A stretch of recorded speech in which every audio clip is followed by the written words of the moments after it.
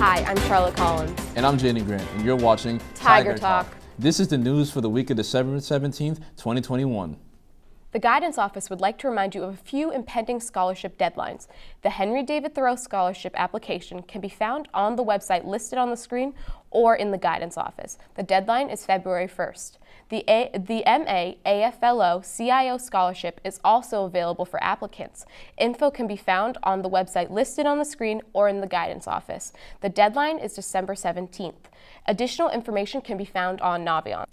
The Grand Lodge of MA Order Sons and Daughters of Italy in America Charitable and Educational Trust Scholarship is now accepting applications.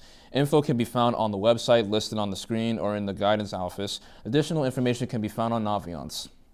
This summer, students currently in grades 9 and 10 are eligible to attend Project Contemporary Competitiveness, a four-week summer program that is being held at Stonehill College from June 26 to July 23, 2022. During this four-week summer experience, students will live on campus in college dorms Monday through Friday. They take two classes, become involved in many different activities, make friends, and have the summer of a lifetime. There are many scholarships available. Please contact your school guidance counselor for more information. Congratulations to all the new members who were inducted into the National Honor Society last Wednesday. That's quite an achievement. Well done. Mr. Easton will be held in January. If you are still interested or wanted to participate, seniors are only allowed to participate. Please see Mrs. V in room 308 or Mrs. Bailey in room 115 with any questions. It is going to be a great show. With the latest from the Daily Olivian, here's Lauren Gilgan.